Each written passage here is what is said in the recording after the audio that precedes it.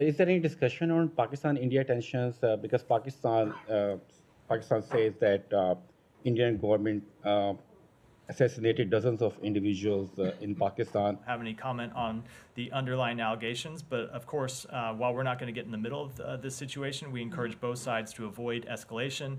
कि अमेरिका ने रिफ्यूज कर दिया है पाकिस्तान के मामले पर बोलने से ये अमेरिका कहाँ से आ गया बीच में या तो बात यह है कि ये जो कंडीशन लगाई गई थी उसमें मोदी अ, किसी को अच्छा लगे या किसी को बुरा लगे लेकिन उस बंदे ने हार्ड वर्क तो बहुत किया और जो ये मुल्क के अंदर पाकिस्तान के अंदर घुस के मारेंगे इसके ऊपर आप क्या कहना चाहेंगे? तो मैथ्यू मिलर ने रिफ्यूज कर दिया। उन्होंने कहा मैं इसके ऊपर कुछ नहीं कहना चाहता।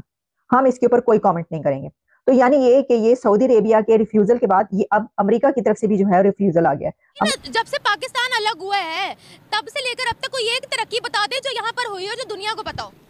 यहाँ तरक्की क्या होनी है? लोगों की सारी जो है ना आइटम यहाँ आके बिक रही है। जी ये जो वलीहद का दौरा है मोहम्मद बिन सलमान का ये मैं आपको बता दूँ खबर है और मुस्तनद खबर है कि इन्होंने कहा था रिक्वेस्ट की गई थी एम से कि शबाज शरीफ साहब कौन सी ऐसी जादू की छड़ी लेकर गए हैं कि सऊदी अरब जो एक अरब डॉलर का शुरू में मुश्किल लग रहा था वो बढ़ते बढ़ते दस अरब डॉलर से ऊपर चला गया कि इतना पैसा सऊदी अरब पाकिस्तान के अंदर लाकर खर्च कर देगा।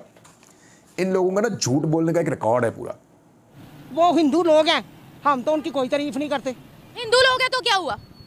यानी कि हम तो मुस्लिम है ना पा- वो हिंदू हैं उनको तो क्या हुआ? ऐसी बात है कुछ क्या हुआ? अगर वो हिंदू है तो क्या हुआ? वो आज हमसे फिर भी आगे हैं। वो इसलिए आ गया ना वो हर काम करते हैं। फिर? चाँद पे चले गए हैं मिलिट्री हार्डवेयर खरीद रहे हैं चाइना के साथ कारोबार भी कर रहे हैं लड़ भी रहे हैं तेल भी ले रहे हैं रशिया से अमेरिका को भी आँखें निगार रहे हैं कोई नमस्कार दोस्तों जय हिंद।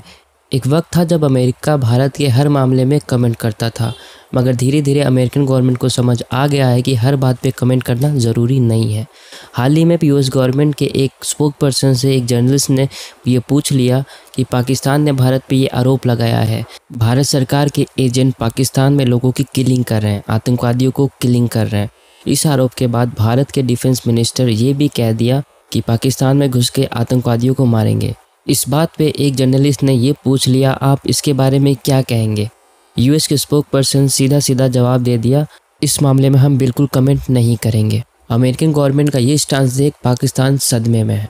सऊदी अरेबिया के बाद अब अमेरिका ने भी पाकिस्तान को झटका दिया। वहीं दूसरी तरफ़ पाकिस्तानी मीडिया यह ये बात कर रहा है कि आज दुनिया में भारत का रुतबा इतना है कि चाहे अमेरिका हो या चीन, दुनिया में भारत को आग कोई नहीं दिखा सकता। आइए हम पूरी वीडियो देखते हैं। जय हिंद। कि अमेरिका ने रिफ्यूज कर दिया है पाकिस्तान के मामले पर बोलने से। अमेरिका ने रिफ्यूज किया है कि वो ऐसे किसी मामले पर तबसरा नहीं करेगा जिसमें ये कहा जा रहा है कि इंडिया की तरफ़ से 20 लोग जो पाकिस्तान में मारे गए और उसमें गार्डियन की रिपोर्ट भी आई कि 20 लोग पाकिस्तान में कई सालों के अंदर मारे गए हैं और उसमें ये राह की साजिश है और वहाँ से जो है ये प्लान किया गया और यूएई में ऑपरेटिव्स मौजूद थे, उन्होंने एक कत्ल करवाया और उसके बाद इंडिया के डिफेंस मिनिस्टर राजनाथ सिंह ने ये कहा कि पाकिस्तान के अंदर घुस के मारेंगे। इसके ऊपर सवाल किया गया है मैथ्यू मिलर से। आप जानते हैं कि ये सवाल जवाब का सिलसिला डेली बेसिस पे उनकी जो ब्रीफिंग्स होती है अमेरिका में, वहाँ पर होता है तो मैथ्यू मिलर साहब से ये सवाल किया गया कि जनाब, ये जो है पाकिस्तान और इंडिया के बीच चल रहा है और जो 20 लोगों के मारे जाने की इतलात हैं कि जनाब उसके अंदर जो है, वो इंडिया की तरफ़ से ये काम जो है करवाया गया है, ये जिहादी थे, यानी जो भी कश्मीर से मुतल जिहाद से मुंसलिक उन 20 लोगों को मरवाया गया है और जो ये मुल्क के अंदर, पाकिस्तान के अंदर घुस के मारेंगे, इसके ऊपर आप क्या कहना चाहेंगे? तो मैथ्यू मिलर ने रिफ्यूज कर दिया। उन्होंने कहा, मैं इसके ऊपर कुछ नहीं कहना चाहता। हम इसके ऊपर कोई कमेंट नहीं करेंगे। तो यानी ये कि ये सऊदी अरेबिया के रिफ्यूजल के बाद ये अब अमेरिका की तरफ़ से भी जो है रिफ्यूजल आ गया है। अमेरिका ने भी रिफ्यूज कर दिया कि हम इस इशू पर कोई बात नहीं करना चाहते। देखें, ये बात हो रही है कि पाकिस्तान के अंदर 20 लोगों का कत्ल हुआ। उनके लिए ये मामला ही कोई अहम नहीं है। अब देखिए, बात क्या है? बात यह है कि वही जो मैंने आपसे कहा, पहले कहा है, कई बार कहा है। सऊदी अरेबिया का विज़िट पे जो अब गए हैं प्राइम मिनिस्टर मैंने आपको कहा था वहाँ पर इंडिया के खिलाफ कोई बात नहीं होगी और पाकिस्तान ऐसा कोई भी मुद्दा उठाएगा तो कोई फ़ायदा नहीं होगा उसका। तो वो कश्मीर के इशू पर उन्होंने क्या कहा? उन्होंने कहा बायोलेटरल इशू है आपका। मिलकर बात करें, यानी उन्होंने इंडियन स्टैंड को सपोर्ट किया। इंडियन स्टैंड भी ये कहता है बायोलेटरल है। कोई थर्ड मीडिएशन नहीं, उन्होंने भी यही कहा। तो पहले सऊदी अरेबिया की तरफ़ से इनकार आ गया और अब अमेरिका की तरफ़ से इनकार आ गया। उन्होंने कहा, हम इस पर कोई बात नहीं करेंगे।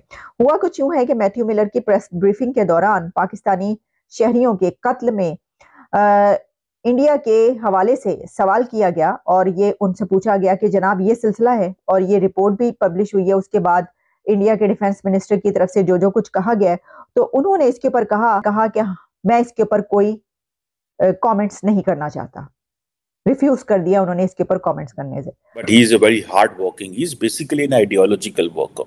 Being and being coming from an rss याद रखिए तमाम वो पॉलिटिशियन जो किसी एक आइडियोलॉजिकल पार्टी से उठते हैं, वो बड़े हार्ड वर्किंग होते हैं। पार्टियाँ लोगों को ऐसे नहीं उठा के ले आती। पार्टियाँ लोगों को ये नहीं कि बस ठीक है, ये हमें अच्छा लगता है तो उसको उठा के ले पार्टियाँ बड़ा काम करती हैं लोगों के ऊपर। और मैं समझता हूँ that is a dedication and commitment ये एक बड़ी कमिटमेंट है लोगों की अपने कॉज के साथ। नरेंद्र मोदी किसी को अच्छा लगे या किसी को बुरा लगे, लेकिन उस बंदे ने हार्ड वर्क तो बहुत किया पाकिस्तान के जो मौलवी हैं, इन्होंने तो डिक्टेटरों के साथ मिलकर फौज के साथ मिलकर मुल्क का निज़ाम बदलने की कोशिश की, इन्होंने तो अनकॉन्स्टिट्यूशनल चीज़ें करने की कोशिश की। इंडिया के जो हिंदू है, और पर्टिकुलरली जो आर है, उसने जो तब्दीली लेके आई है, वो इंडिया की फौज के साथ, डंडे के साथ नहीं लेके आई। They are bringing this change with the process एक step by step bottom up approach है उनकी। मैं तो भाई इस अप्रोच का कायल हूँ। बड़े वो हिंदू की हो, ईसाई की हो, मुसलमान की हो, आपकी जो अप्रोच है that should be bottom up आपकी अप्रोच टॉप डाउन नहीं होनी चाहिए। मतलब हमारा जो इस्लाम है प्रॉफिट मोहम्मद पी सी है, उनकी सारी स्ट्रगल बॉटम अप थी। उनकी टॉप डाउन अप्रोच नहीं थी। हमारे मौलवियों ने फौज के साथ मिलकर पाकिस्तान के अंदर इस्लाम नाफज किया किया ज़बरदस्ती डंडे के साथ। इंडिया के अंदर आरएसएस और बीजेपी ये सारा कुछ करने जा रही है with the help of the people with the bottom up approach इसके ऊपर शबाज शरीफ साहब, कौन सी ऐसी जादू की छड़ी लेकर गए हैं कि सऊदी अरब जो एक अरब डॉलर का शुरू में मुश्किल लग रहा था, वो बढ़ते बढ़ते दस अरब डॉलर से ऊपर चला गया कि इतना पैसा सऊदी अरब पाकिस्तान के अंदर लाकर खर्च कर देगा। इन लोगों का ना झूठ बोलने का एक रिकॉर्ड है पूरा। सो की बारिश हो गई डॉलर दी डॉलर्स डॉलर्स की बारिश कर दी गई। मुसलमान मुल्कों ने, जो गैर मुस्लिम मुल्क हैं, उन्होंने वर्ल्ड बैंक ने, फलां ने, इन्होंने सबके नाम लिए कि हमें बहुत पैसा मिल गया है। नौ बिलियन डॉलर से ज़्यादा इमदाद मिल गई है। पहली खबर इन्होंने फिर फाद हुसैन साहब ने ये दी थी। और फिर उसके बाद जो है वो डोनर कॉन्फ्रेंस हुई है, बड़ी कामयाब हुई है। बड़े बड़े इन्होंने नारे लगाए कि जनाब उन्होंने बड़े पैसे कमा लिए हैं। लेकिन एक्चुअली इनको क्या मिला, वो मैं आपको बता देता हूँ।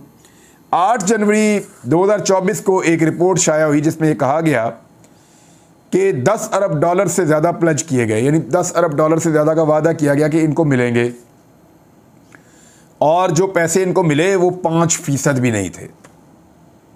10 अरब डॉलर का वादा था, पाँच फ़ीसद भी इनको नहीं मिले।